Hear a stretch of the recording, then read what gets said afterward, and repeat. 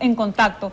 ¿Considera usted que las situaciones tal y como se han presentado y lo que señala la investigación de la eh, doctora Barreto, aunque ya no va a estar a cargo ella de la investigación, configuran delitos como para pensar de que existe una organización criminal encabezada por la señora Benavides? De todo, buenos días, Claudia Pamela. Perdón, el asunto es que vivimos una situación con la exposición de la Fiscalía de, en el allanamiento de que hay delitos graves para empezar está el hecho del cohecho, por el tema de coimas. Las coimas no necesariamente son por entrega de dinero, basta que haya una dádiva. ¿Y cuál fue la dádiva? Que los congresistas investigados por delitos que incluían a los niños han sido archivados sus carpetas fiscales a cambio de los votos, ¿para qué? Uno para sancionar a la fiscal Zoraida Ábalos, otro para tumbarse la Junta Nacional de justicia y evidentemente con todo esto hay más que pruebas suficientes. Ahora, habría una especie de tráfico de influencias, otro delito que también está tipificado, porque evidentemente lo que se ha estado haciendo es buscar favores políticos desde la Fiscalía de la Nación a través de los congresistas. Los chats son por, más, por demás reveladores, porque comprometen seriamente a la fiscal de la Nación, porque son sus asesores que hacen este acuerdo. Ah, ahí, señor Arce, si me permite, porque hay quienes podrían decir, y usted ha sido congresista, que el trabajo del coordinador parlamentario existe y que las instituciones tienen todo el derecho de conversar con los eh, congresistas para impulsar iniciativas que son de su interés. Hay un código de ética en el comportamiento profesional. El trabajo del eh, coordinador parlamentario está encargado para desarrollar una relación con los congresistas, pero para entregarles información sobre el funcionamiento, sobre las actividades, sobre algún proyecto de ley que se ha presentado cuando se busca alguna consulta a la institución, no para hacer prebendas. El coordinador parlamentario no es nadie para que direccione los votos, para que organice la votación como se muestra en los chats al extremo que involucran a la congresista Chirinos, involucran a los niños, a los congresistas de APP, de Luna, es lo que dicen los chats de por medio, que ya tenían los votos, en este caso para tumbarse a la señora Zoraida Ábalos. ¿Por qué si tenemos, por qué si tenemos, por qué si tenemos indicios, por qué si tenemos, eh, y, y si esta situación se ajusta a unos hechos que por lo menos nos hacen levantar las cejas, eh, es que en este momento surgen estas teorías de ideologizar eh, eh, las situaciones, ¿no? de que esto responde a cualquier cosa que no sean hechos y que no sea algo que se está enquistando y capturando, nada menos que a través de la Fiscalía de la Nación. Porque lamentablemente estamos viviendo una polarización donde inmediatamente se forman bandos.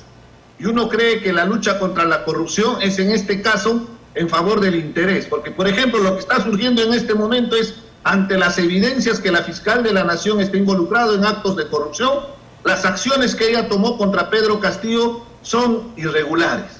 Eso es absolutamente falso, no tiene nada que ver. Pedro Castillo está involucrado en actos de corrupción, pretendió hacer de Estado y está en la cárcel. Eso sigue su conducto regular. Las acciones que está cometiendo la fiscal de la Nación tendrán que seguir en las investigaciones que se den, porque esto recién empieza, recién han agarrado el hilo de la pareja. Y es algo muy importante, si empiezan a ser un poco más acuciosos, se van a dar cuenta que el colaborador eficaz probablemente es un congresista de la República, porque ¿quién tendría esos chats para conversar con los asesores? ¿Eso qué quiere decir? Que dentro del Congreso de la República ya hay un congresista que está declarando a la Fiscalía de los delitos que vienen cometiendo en el Congreso de la República.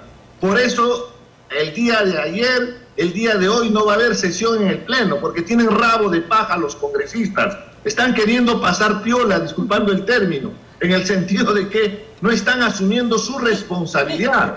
Y, en ese sentido, eh, eh, señor Arce, si nos permite, claro, esta acusación contra la fiscal, esta, esta investigación, mejor dicho, que tiene que seguir su proceso, pero además esta acusación que ya está presentando la fiscal contra la presidenta Dina Boluarte, van a terminar eventualmente en el Congreso de la República. Y si tienen, como usted señala, este rabo de paja, ¿cómo finalmente esto se va a terminar procesando?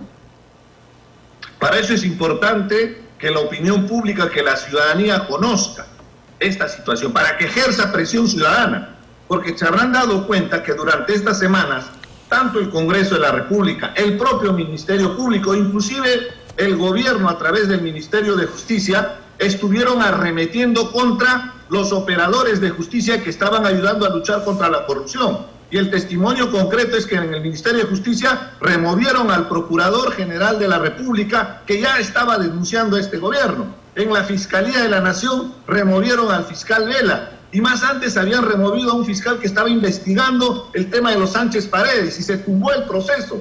Y de la misma manera, en el Congreso de la República han pretendido tumbarse la colaboración eficaz justo el día del partido de Perú.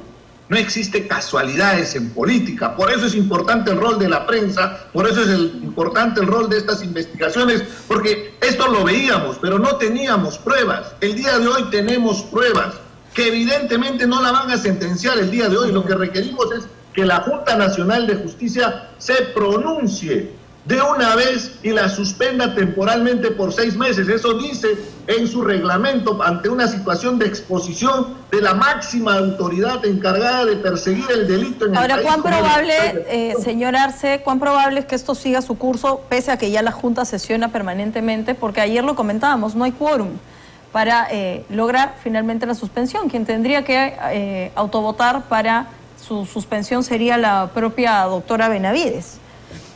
Claudia, por eso es que apelaba a la Junta Nacional de Justicia, porque la Junta de Fiscales Supremos en este momento solo tiene dos fiscales. Ajá, Recordemos sí. que la fiscal Coray Dávalos fue suspendida, la otra fiscal está en el Jurado Nacional de Elecciones y solo habrían dos fiscales, Sánchez y hay otro fiscal más. Entonces, entre los dos tiene que recaer la responsabilidad de asumir temporalmente la Fiscalía de la Nación. Objetivamente, lo que tiene que actuar es la Junta Nacional de Justicia.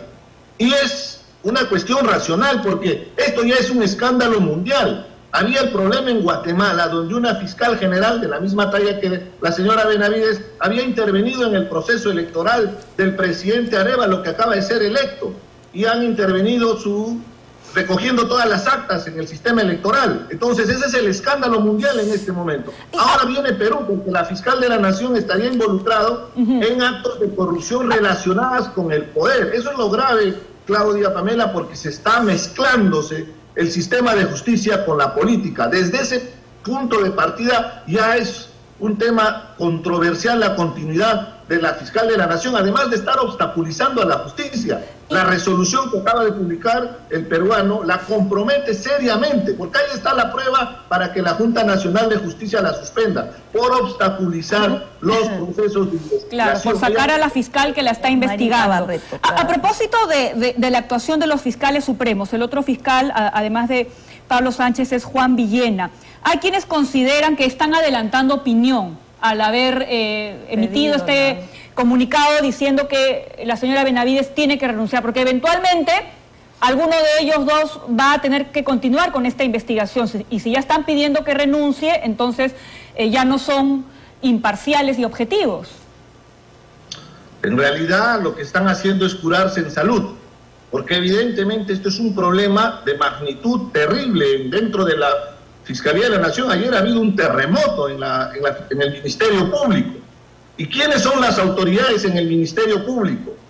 Es justamente la Junta de Fiscales Supremos. Ellos tienen que deslindar abiertamente ante la evidencia que se ha mostrado. No hay forma, por más que ahí en las redes sociales traten de negar que esto es una, eh, un plan caviar y una serie de argumentos absurdos, esto es realmente revelador porque los chats comprometen directamente a la fiscal de la nación. Ahora, podrían argumentar que ella no sabía nada, pero eso también sería realmente grave porque ¿cómo puede ser posible que la fiscal de la nación tenga asesores que hacen lo que se les viene en gana, que estén traficando la votación desde el Congreso de la República y que tengan ese poder para poder persuadir a los congresistas. Eso es realmente absurdo. Mostraría que, la- en este caso, la fiscal de la Nación, Patricia Benavides, sería totalmente incompetente para la función porque sus asesores estarían haciendo de todo. Entonces, es evidente el grado de involucramiento que tiene y lo que corresponde es la suspensión inmediata, Inmediata. para garantizar los procesos Bien, que señor Arce. investigación. Bien, señor Arce, agradecerle por haber estado aquí esta mañana. Eh, ahora vamos a darle pase al doctor Blume, que ya está nuevamente eh, conectado. Doctor, ¿lo tenemos? ¿Nos escucha ahora sí? ¿Bien? Eh, eh, sí,